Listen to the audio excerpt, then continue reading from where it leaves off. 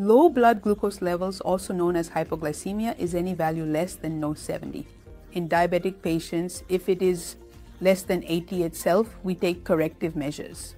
The symptoms of hypoglycemia are uh, excess sweating, tremor, uh, loss of uh, consciousness, altered behavior, excess hunger.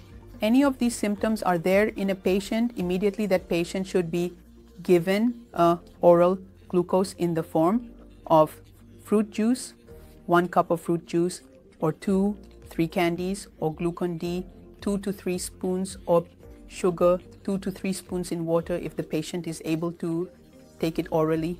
If the patient is not able to take it orally and he is in already in a comatose state, immediately patient should be given IV forms of uh, glucose, which can be done uh, in the in the nearest hospital or even in the ambulance.